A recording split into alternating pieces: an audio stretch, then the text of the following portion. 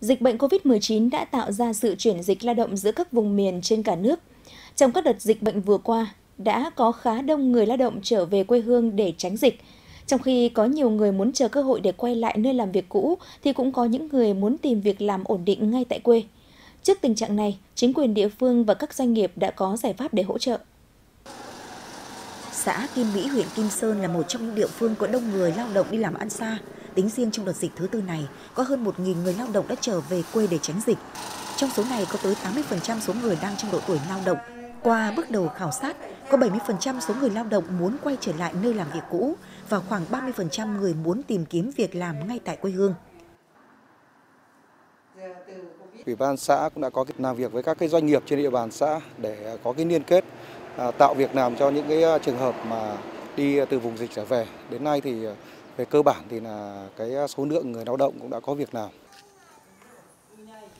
Còn đối với xã Thạch Bình, huyện Nho Quan, tuy số người trong độ tuổi lao động trở về không đông, song địa phương đã tiến hành khảo sát nhu cầu việc làm của lao động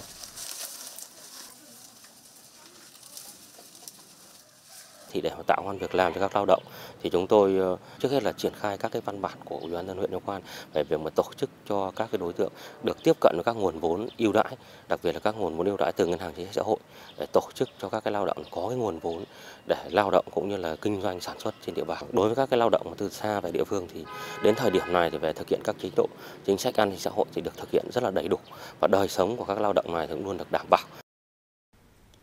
Theo số liệu thống kê của ngành chức năng, Tính từ ngày 29 tháng 4 tới nay, đã có hơn 11.000 người trở về từ thành phố Hồ Chí Minh, các tỉnh miền Nam và thành phố Hà Nội. Số người có nhu cầu ở lại địa phương tìm kiếm việc làm không quá lớn. Trong khi đó hiện nay, nhiều doanh nghiệp trên địa bàn tỉnh đang có nhu cầu tuyển dụng lên tới hàng nghìn lao động. Về phía doanh nghiệp thì chúng tôi thì cũng là cũng là đang thiếu lao động.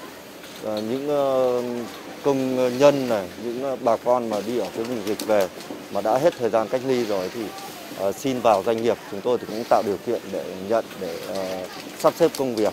Những uh, công nhân mà chưa có tay nghề thì doanh nghiệp cũng uh, có hướng đào tạo để nhận. Tôi đã được đi làm ăn xa rất là nhiều nơi rồi nhưng mà nói thật sự ra là cuộc sống thì nơi làm ăn xa thì về chi phí rất là nhiều nên là không thể để dư ra được. Đến khi mà được ở nơi tại nơi địa phương có công an việc làm như thế này chúng tôi làm là rất là thuận tiện về về kể cả việc về gia đình con cái rồi chi phí nó đỡ rất là ít đi sẽ để dư được nhiều để dành dụng cho gia đình. Với những giải pháp phù hợp của ngành chức năng, chính quyền địa phương và doanh nghiệp sẽ đáp ứng nhu cầu được việc làm tại địa phương của những người lao động trở về từ vùng dịch, giúp họ nhanh chóng ổn định cuộc sống.